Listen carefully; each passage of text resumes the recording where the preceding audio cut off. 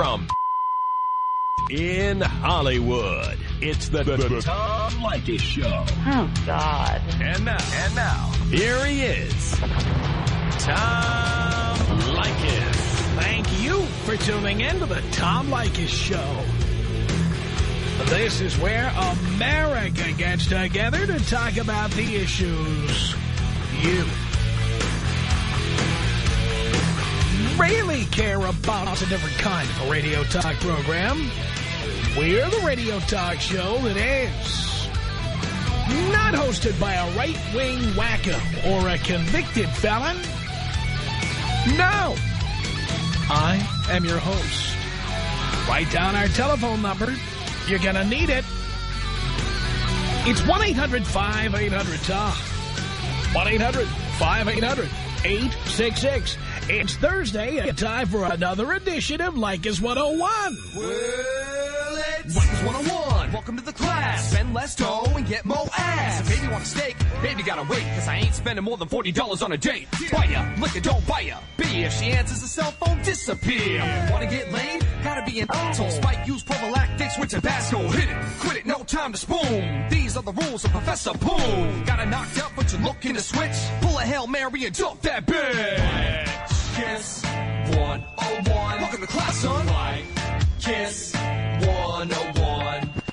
My Kiss 101. Welcome to class, son. My Kiss 101. It's Leykis 101, the ongoing on-air adult education course that teaches men how to get more tail for less money. Just as importantly, we teach women how men think. I'm your professor. This is my classroom. Class is in session. This is where we teach the tenets of Leykis 101.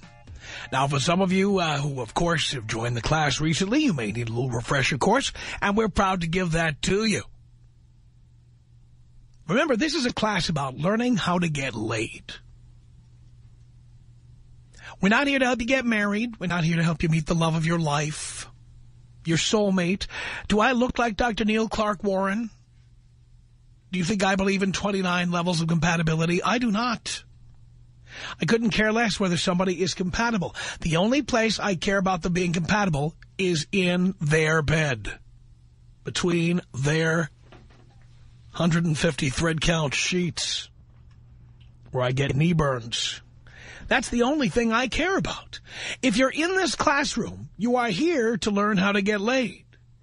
If you are not looking to get laid on a date, you're in the wrong place. If you're looking to get married, go to another class.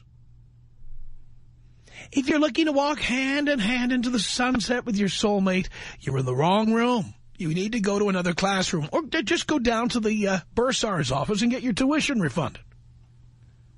Understand? Leykis 101 is a course that teaches men how to get laid. Dating equals porking. The one and only goal, men, that you have when you go on a date is to get laid.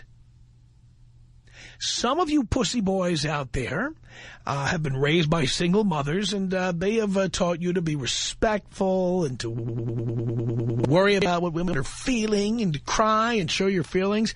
F that. My feelings are none of your goddamn business.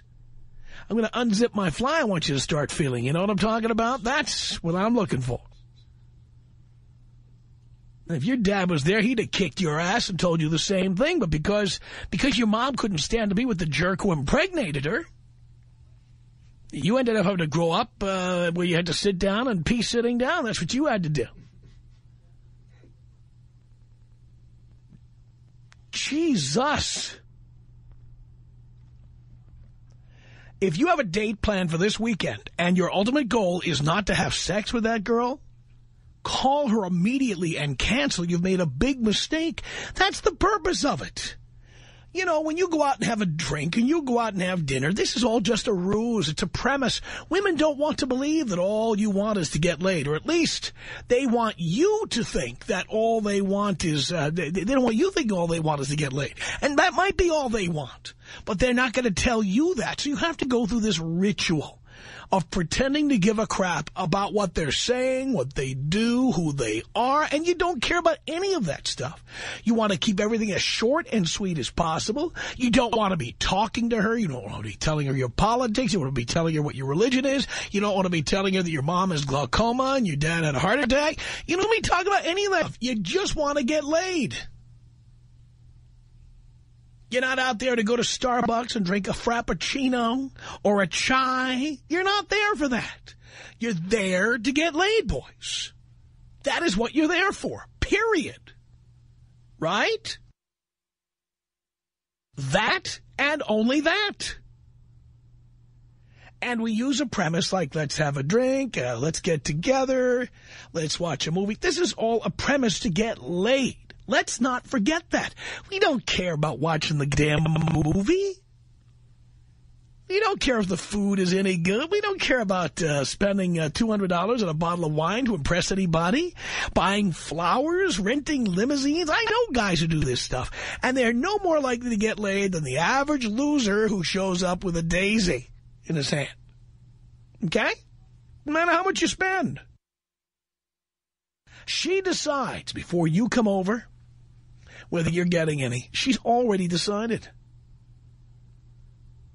No amount of lobster or champagne or limousine is going to change her mind. In fact, you show up with a limousine, you intimidate women. You know why? Because then they know that this is not just an evening where they're going to uh, be wined and dined. And whether you intend it or not, they think you're expecting them to put out in the back of that limousine. By the way, I frequently have a limousine because it's part of my gig. You know, I, I have limos take me places. I, when I make appearances, you know, I'm usually having a few drinks. The limo is uh, taking me around. So I haven't spent anything. But if a chick gets in a limousine with me, it's because she's going to take her clothes off. There's no other reason for a woman to be in the limousine with me. I have the women ask me this question all the time as your professor. When I show up in a limousine, women want to get in the limo. I don't let them. The only way I let them in is if they're going to put out.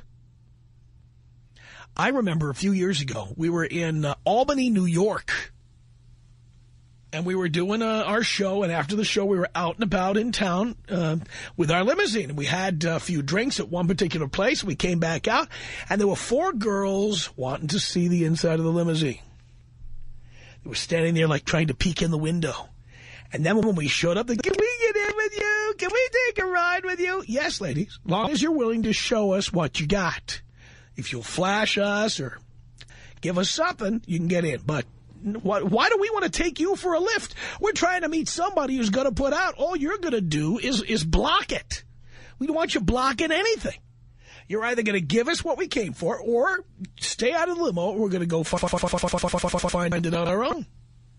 It was this girl's 18th birthday. And there were her friends. They were all 18. At least that's what they told us. We believed it. And so uh, these girls wanted to ride in the limo so badly, they showed us what they had. Gary and I were getting a big laugh out of it because this is the, the very basis of gold digging. These girls were willing to do whatever we told them to do in order to get inside the limousine. They were. And we were happy to get what we got. Beautiful 18-year-old breasts. Oh, my goodness, they were spectacular. Wow. Very, very nice. So uh, what I'm trying to tell you, boys, is uh, you should not be spending any money on chicks if you can avoid it. You should be spending as little as possible and wasting as little time with chicks as possible. Many of you have the, you, know, you want to spend the entire Saturday with them or you want to have dinner and sit there through three hours of various courses coming out blah, blah, blah, blue, blue, blue, blue, blue, blue, blue, blue, blue. Shut up, shut up, shut up. You don't want to have to listen to her talking like that, and you certainly don't want to have the spotlight on you, because anything you say can and will be used against you when it comes to getting laid. You might have the wrong politics. You might not like cats. You might be a member of the wrong political party. You might be, uh, if you're like me, you're probably pro-choice. you might say the wrong thing. Maybe you're the wrong religion. I'm an atheist. Do I want to be sitting on a date saying, oh, yeah, and I don't believe in God? To some chick who believes in God but might be willing to give me sex anyway? You know, women who believe in God like to get on their knees. I'll tell you right now, they know how to do it. Probably already have knee pads. I'm not going to tell them that. I'm not going to introduce any of that information. I'm a political independent. I'm an atheist. I don't believe in marriage. I don't want to have children. I I like having sex, and then I might not call you for weeks at a time. what am I going to do, like tell all this stuff? You, the longer you sit there and blab, the more likely it is she's going to find some reason not to have sex with you. You want everything to be short and sweet, simple, easy. That is what you want. No more, no less. I don't know how much easier I can make this for you. Many of you guys overspend, waste time, overplan. You don't want the you don't want the light of day to hit her face. You do not want to see her during the day. There's no coffee. There's no lunch. There's no walking hand in hand to the park. Forget that stuff. Leave that to the romantics out there, okay? You want to get laid. You want to get laid. That is your priority, man. Don't forget it. This lecture is a very important one. I'm trying to focus you. You want to get laid. My job as your professor is to help keep you out of commitment, keep you out of relationships, keep you out of marriage, keep you out of having children. I don't want you to waste any time, money, or energy blabbing with chicks who are never going to give you what you want. It's that simple.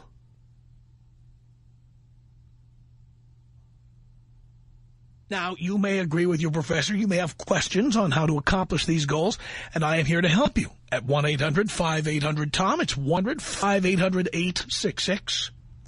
Because your professor doesn't believe in dating single mothers and because your professor believes in getting laid without any commitment, there are some women out there in the uh, classroom who get upset. They get angry with your professor.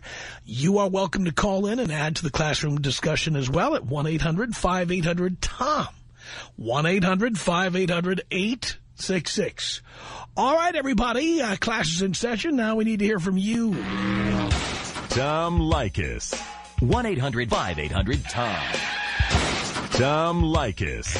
All you young guys out there, you want you have any questions about women, listen to Tom. He knows what he's talking about. Tom's a man. It's Leykis 101 on the Tom Leykis Show.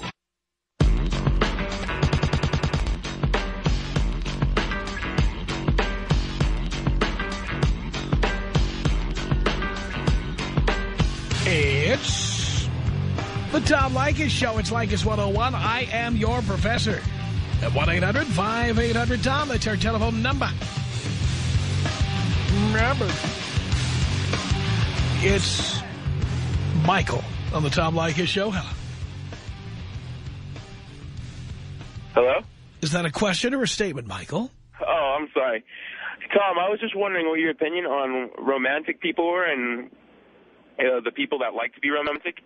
Well, first of all, they're not students in this class. Yes, sir. I was just wondering what your opinion on them was. Uh, they uh, don't care about getting laid. They were probably made, raised by single moms in many cases, so they were raised to quote-unquote respect women rather than to try to get in their pants. And uh, I'm certainly not one of those. Yes, sir. And I was wondering, um, I can't recall, were you previously married? Oh, come on. You you know the answer to that. You've been listening. Uh, yeah. Um, like, what what happened with those marriages? Like, what what got well, see, well, to- first of all, why did you try to be cute? Why did you, like, like pretend you didn't know I, I've been I, married? I'm not sure if you said you were married, like, uh, four times? But see, you do know the answer to this, so I'm asking why you're doing this. Do you think it's cute? No, no, coy? sir. why are you doing it? I, I'm just curious about it. No, no, but, but the point is you lied and pretended you didn't know I've been married before, right? I- just wanted to re, like, just make sure. No, no. You knew the answer. You already knew how many times I've been married. You knew it. All right, correct. So Sorry. you were lying. Because you thought it was cute? Is that why? Why'd you do it? Uh, just, I, I'm sorry. I just want to make sure. You already knew the answer, you moron. And I, you know what? I don't appreciate that. Sorry. Don't care about getting laid. There we go. That's the whole purpose of it, to hear his own voice on the radio. 1-800-5800-TOM. I am your professor. This is Leykis 101. It's Gladys. Hello. Hey, Tom.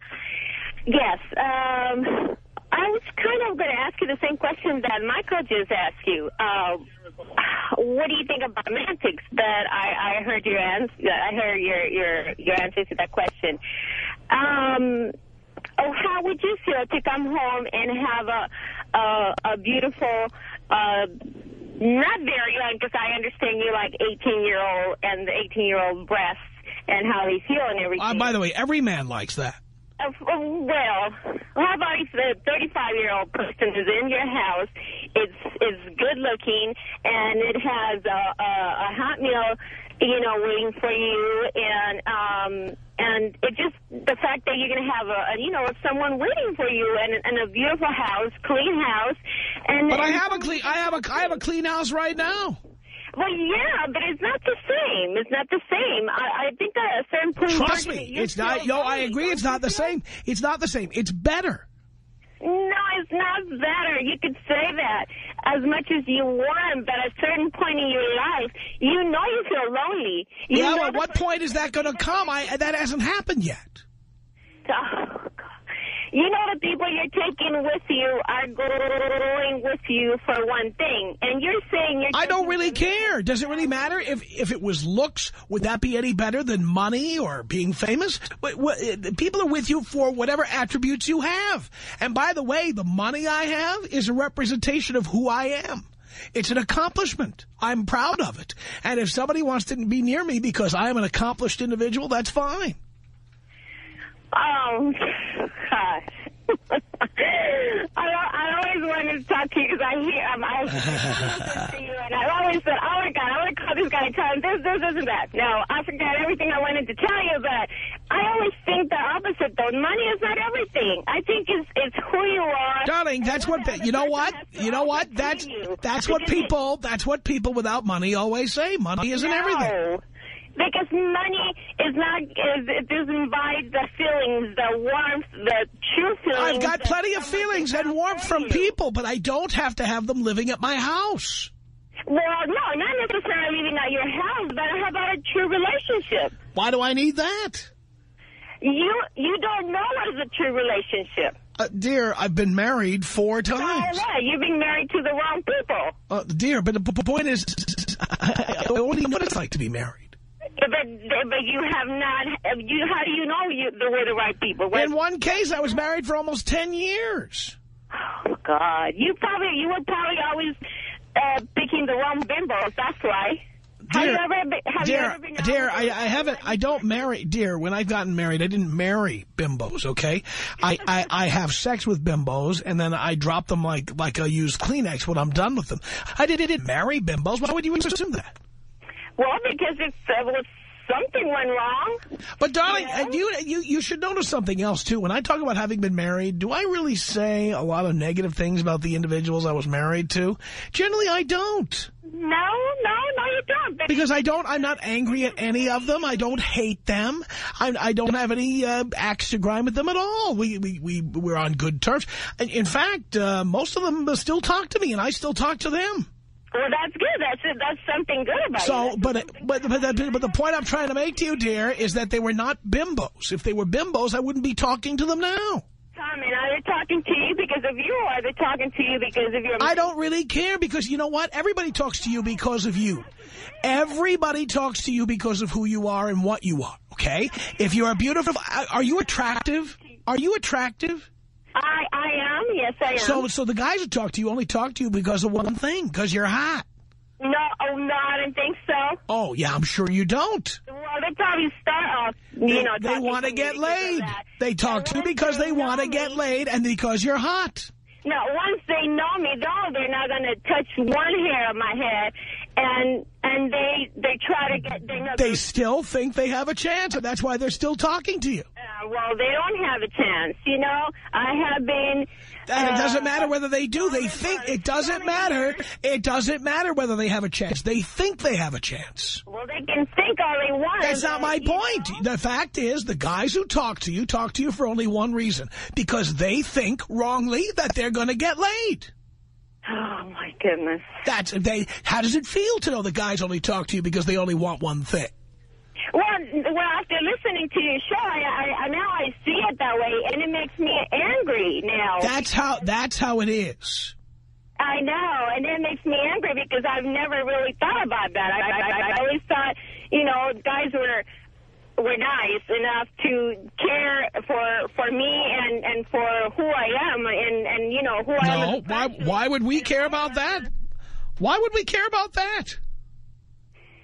Because that's life.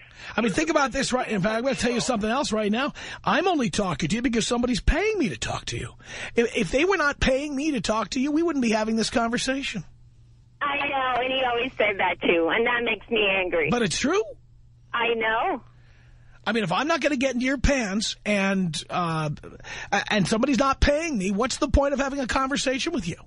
Well, just getting to know someone else. Why do I why do I need to get to know you? Well, I might have something interesting, you know? No, you no, know. no. I'm from a different country. Uh, you might want to know about my country. You might Well, want to know. I like to know about your country if you take your top off and I can get a look at the uh, terrain. You're not going to see my terrain. I can take you to my country and you can see all the terrain you want, all No, the no, no, no. that you want. But you're not seeing mine Why not? because I don't think you make enough money to see that. Really? Be, you have no idea how much money I make, dear. You'd be surprised. I, I don't know. If you knew, if you knew how much money I make, you'd show me anything I want to see. Oh, okay, well, show me the money. I'll show it to you. Oh, absolutely. Well, once I show money. once I show it to you, I'll show you all my bank statements. Okay. But then once I do, I want to see what you've got. No, you show me the money in my bank account, and then I'll, uh, you, I Oh, so you in other words, you're a, have. I see, you're a whore. I understand. Now I know what you are. whore. You're a But hooker. You, you to say, you know, it's like I you see. You're a hooker. You're a prostitute. I, I don't think that way. You're a whore. So I, if I put money in your bank account, you'll show me what you've got. So you're a whore. I have had sex with two people in my life. Thank you very much, and I'm happy with that. And um, and and you know, and money has no value. Well, then why would I want to waste my time talking to you? For God's sake. Because I want. Now, really, I don't, I don't believe you. Now you can't even pay to talk to you. Mm. One eight hundred five eight hundred Tom is our telephone number. This is Eric on the Tom Leykis show. Hello. Hey, what's up, Tom? Not much. Hey, um, well, I was listening earlier and you're saying that it's stupid to get married and not have sex and stuff, but I was saying, well, it's because you don't understand the other person's, like, point of view on life, you know? I don't care about the other person's point of view on life. I have needs. They need to be met. Oh, that's you, but not, like, I don't know why... I'm not in the relationship for the benefit of the other person. I'm in it for what I need. Oh, it's, yeah, they're your needs, but, like, I don't know why you gotta say things about other people. Like when what? Their needs is just to have love and, like, have someone day in, day out with them throughout the rest Well, of their lives. by, by the way, they still need sex. They just sit there and tolerate it quietly. Well, you know, necessarily they don't always just live life without having sex, unless they're, like, really religious or something, but they have sex once in a while. Well, once in a while is not enough for me or most people. I mean, neither, I ain't gonna lie, I'm just, like, supporting other people and stuff, but, like, because, I don't know, it's just, it's fine, like... What are you talking about? What do you mean what I'm talking about? What are you talking about? I'm saying that the other people get offended by this kind of stuff. I That's really like- don't care if they get offended. Anyone who's offended, turn off the radio now. All right, yeah, that's true. Never mind. That's true. But But yeah, you know what, people, including you, you can't resist. You have to listen. it's it's like a People like, are offended. You think I care if people are offended? I couldn't care less. I mean, neither. Uh, another one. 1-800-5800-TOM. It's Leykis 101. I am your professor. This is Mark. Hello. Hey, Tom, I love you, man. How's it going? Going great. Hey, I just wanted to ask you, you know how you said before how, you know, if you, you, you know, your date talks on a cell phone, she answers her phone like, like at the dinner table or whatever it is that you're doing, you know, you excuse yourself, you walk out. What do you do if, let's say, you go pick her up, I mean, you're 5, 10, 15, 20 minutes into the date in the car, and she answers her cell phone while you're driving. I mean... Oh, I have a way of dealing with that. I have a way of dealing with that. You know what I do? What's that? I drop them off in front of the restaurant, and I say, I'm going to look for a parking space. I'll be right back. Okay. And then I leave. All right, so then that's it. You just drop her off. Because the reason why I asked that is because I'm kind of like you. I I really like foreign ladies, you know, especially Latin American women. And a couple times that I've gone out, they'll answer their cell phone, right? And not only in the middle of the date, but like in the car. Like, you know, their uncle or sister or some crap is calling and they don't get it, you know, that they're on a date. You know, it's kind of like you're paying Well, you, uh, you also have the right to tell them uh, right at the beginning that, you know, I consider it rude. Uh, I won't talk on my phone. In fact, I'm going to shut my phone off while I'm with you so you have my full attention. And I expect the same. Okay, so, I mean, like what? Like five minutes into the day, you say, you know, I'm really interested in getting to know you. I'm going to turn my cell phone off because I'm interested in you and blah, blah, blah? No, no. You're not going to say you're interested in them. you never say that. No, you tell. She gets in the car. Here's how you do it. If you're afraid she's going to be one of those, you show her your cell phone. You turn it off. You know what? Um, I want to give you my full attention tonight, so I'm going to shut off my cell phone. And I'm asking you to do it, too, because I, I want your full attention. Okay. Now, now, Tom, what would you say, like I said before, you know, you've had experience in dating a Latin, Amer Latin American chick? Yes. Out of all the foreign chicks that I've chased in my dating life, I guess you could say, Latin American chicks seem to be a little bit, I don't know, for the Leykis 101, like, kind of philosophy, it's been a little bit tougher for me as compared to other, like, races and ethnicities. It's, it's tough because you have to actually pretend to give a rat's ass. Okay, so that's the main thing. Well, yes. I mean, uh, you have to understand. Uh, with, with, Latin women, uh, more than other women, although I'd say all women have this to some extent, Latin women especially don't want you thinking that they sleep with everybody. So they want you to believe that, you know, they've only slept with a couple of guys, and they were boyfriends, and that's it. Now, so, your whole, so the whole attitude is to have, like, well, I really don't care if you're banging anybody. No, no, you're not going to get into that kind of conversation on a first date. But the point is that she is going to say things uh, that and that will give you the idea that they're hard to get into bed. Okay? Okay. All right? And there are people who are hard to get into bed, but for the most part, uh, this is just a ruse, okay? Because uh, most Latin women I have known will generally say right off the bat, I don't want you to think I'm a slut. So then what, what I'm what I'm having a hard time Even when they are a slut. So they could be a slut. So what what how would you go about projecting Even if they're a slut, they're never going to let you know that. So basically then what it all boils, it boils all back down to on the third date, they're either going to put up or you're going on to the next one. Correct. All right. All right, Tom, I appreciate everything you do, man. I know you're doing this for your career, but you're, like you said before, man, you really are doing a public service. We all love you. As you know, I'm doing the Lord's work. Tom Leykis. 1-800-5800-TOM. 1-800-5800-866. I want to talk first about the 167-pound nine. I don't buy that for a minute. No, I don't either. I think you've got to be drugly. You've got to be drunk and ugly to get her later on in the evening. Drugly.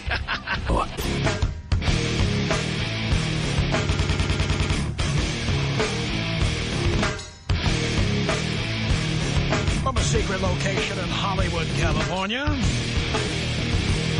it's Leykis 101 with your professor, Tom Leykis. This is Jim. Hello. Jim? Hi, Tom. How you doing?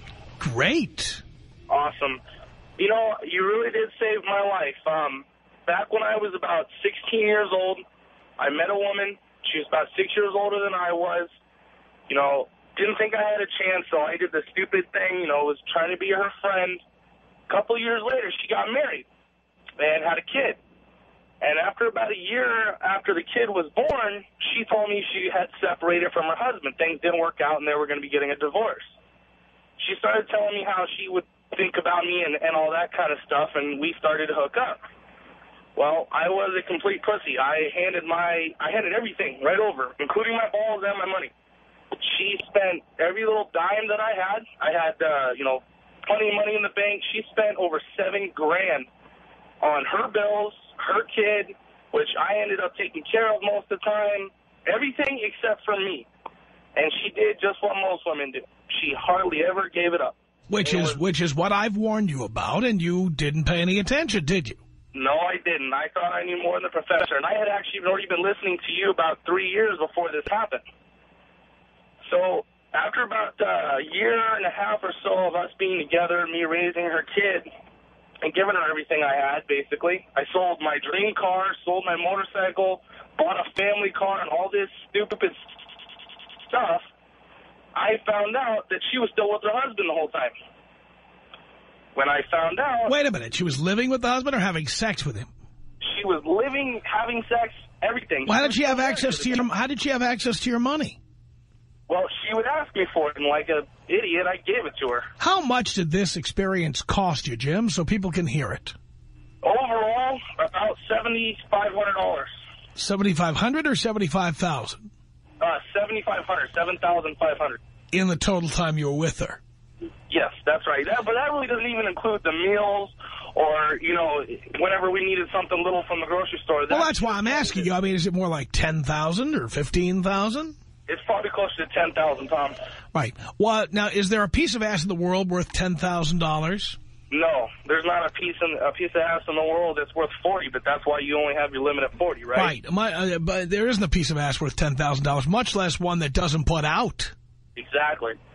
You know, I was, uh, you know, I was like 20 years old. Once every couple weeks was like death to me, you know? When did you realize that the professor was right and you were wrong? How long did that take? It took entirely too long. It was uh, when I found out that she was still married, still sleeping, and living with her husband is when I realized that I should have been listening to you the entire time. Instead of listening to you for entertainment, I should have been looking to you as advice. The stuff I say is true, and now you had to learn it the hard way. You're another one of those guys. I say, don't put your hand over that flame. It's hot. And you had to sear right down through the epidermis to the dermis. You had to go right down. The, the, it's a third-degree burn, baby. Yes, it is, and I did it badly. But uh, that's not even the worst part. After I found out that she was with her husband still, and, and I broke up with her after I grew some balls, I did break up with her. And about two weeks later, she calls me and says she's pregnant. Uh-huh. Yeah. And obviously we didn't know whose it was. So, like an idiot, I, you know, stayed around and hung out with her and was a friend and continued to give her some more money while she was pregnant. Then she had the kid. Of course, you know, I wanted to have a DNA test done. And she started to argue with me that her and her husband didn't want to do it. They said they could prove it by the conception date, which is complete crap. So I told them, look, either you do it or I'll take it to and make you get a DNA test. So after about a month of arguing, we finally did. And thank God my kid, because I did listen to you. I had always used a condom, but, you know, they're not 100%. Right. So after uh, we found out that uh, it wasn't my kid, I was done with her. Well, I get a call from a restricted number about three months after I had after the kid was born. I'd been done talking to her. About three months later, I get a call from a restricted number, and she's calling me and begging me for money because she can't afford. Because of course, you know, she doesn't work. Her husband is a you know a college dropout. Not that they all suck, but he's an idiot. Doesn't make hardly anything. He, he works at Costco. So she calls me up begging me for money because she doesn't have money to pay the kids, uh, for food for the kids. So I told her, look, that's your problem. You know, they were living at her mom and dad's house rent-free. And you know what? It just occurred to me. All of a sudden I heard, you know, dad in, in my voice or in my head.